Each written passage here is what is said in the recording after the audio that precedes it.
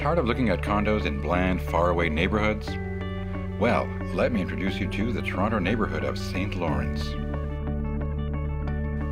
Aside from offering some of the things Torontonians would come to expect in a vibrant neighborhood, this area contains a few iconic spots you won't find anywhere else.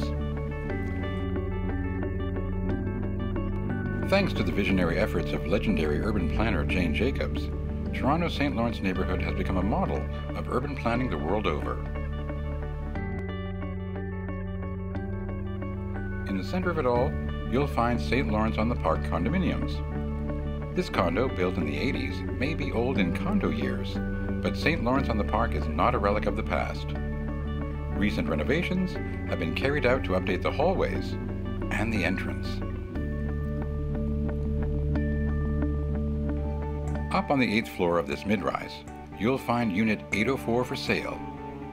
Let me try to answer a few questions you may have.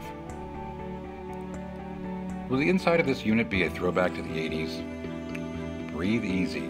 This unit has seen quite a few changes since then. Unit 804 contains many of the up-to-date features condo lovers seek out today.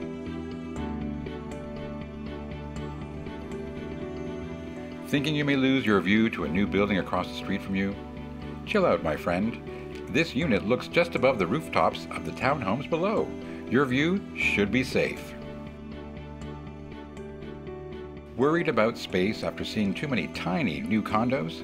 Well, just relax. Unit 804 should not disappoint. This two bedroom unit with den offers over a thousand square feet of urban space. In your kitchen, you will have the counter space, the lighting, and the appliances to take you to new culinary heights.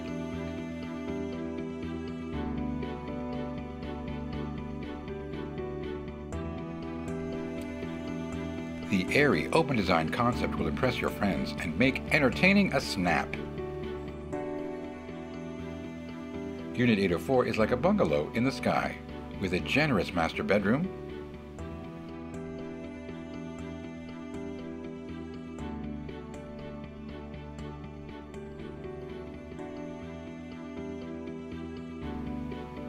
a second bedroom.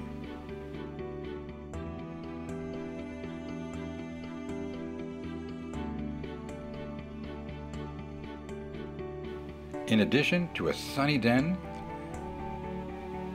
and two washrooms.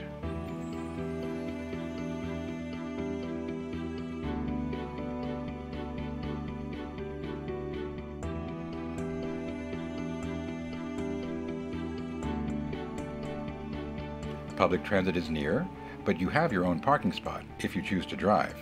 And it's underground, so no snow removal required. Unit 804 at St. Lawrence on the Park. A quiet retreat in the center of Toronto. What's old is new again.